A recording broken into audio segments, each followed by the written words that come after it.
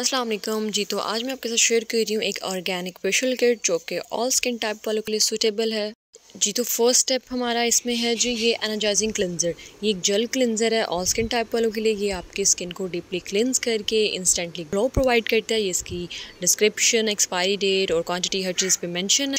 Next step है जी exfoliation तो ये सूथिंग शुगर स्क्रब आपकी स्किन को डीपली एक्सफोलिएट करता है डेड पार्टिकल्स को रिमूव करता है, आपकी स्किन को क्लियर करता है।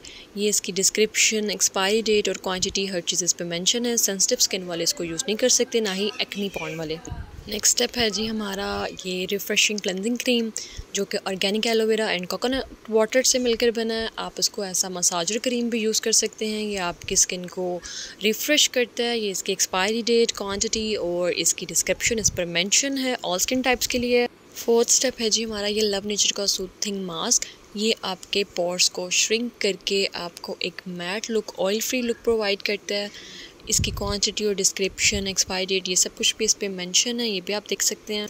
Fifth and the last step जो हमारे पास है वो है जी मॉइस्चराइज़र तो मॉइस्चराइज़र के लिए जी ये है जी ग्लो एसेंशियल का face cream with vitamin E and B three ये आपके स्किन को हाइड्रेट करता है प्लम्प करता है। मॉइस्चराइज़र बहुत ज़रूरी होता है आफ्टर फेशियल uh, या आप स्किन पॉलिश करें कुछ भी करें उसके बाद मॉइस्चराइज़र अप्लाई करना ज़रूरी होता है। ये आपकी स्किन को पैची नहीं होने देता। जिनकी स्किन पे पिंपल्स हैं या फिर सेंसिटिव स्किन है, वो इसमें से शुगर स्क्रब की जगह सूथिंग स्क्रब ऐड करके इस फेशियल को यूज़ कर सकते हैं।